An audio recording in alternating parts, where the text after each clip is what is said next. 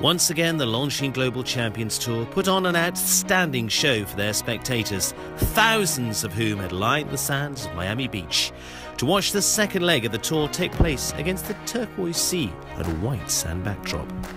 The top riders in the world were out in force to compete for their share of the coveted 23 million euro prize money. Taking the stage in front of their US fans were world number one McLain Ward and Longines world number two Kent Farrington. But they had a tough competition for the whole host of famous faces. They're appearing this week for the sport.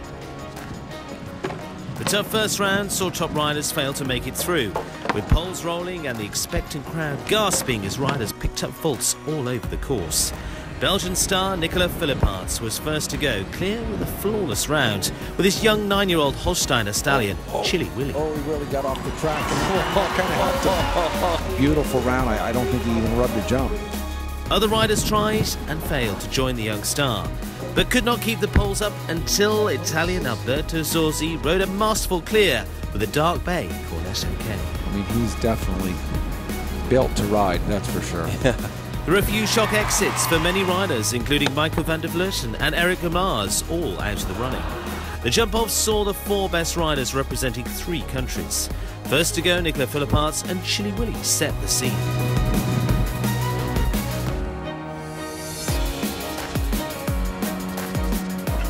This jump you can't flat out run at. This is going to come down quite easily if you just run at it. So clear round, but I, I think the time is very beautiful. Alberto Zorzi from Italy took the lead and topped it on 37.96. Harrie Smolders' his stallion Emerald lost his footing around the corner. Harry circled the stallion and calmly resumed the round, costing him four. Last up, Jerome Guéry and Grand Cru van der Rozenberg had a time of 37.96 to beat. He got the nine easier, so he didn't get thrown out as much. Yep, he's he's got him. 37.96 to beat, and it's uh, a chase to the finish. He's got a little bit of room as he gets there. Is it enough? 37.39. Oh, he's so excited. a delight on the faces for the team for uh, Jerome Guéry, Grand Cru van Rozenberg. The kiss and cry cannot hold them either. The Belgian rider clearly couldn't have been happier with his career-defining moment as he kissed his horse and took his spot on the podium to receive the lion's share of the 300,000 prize money.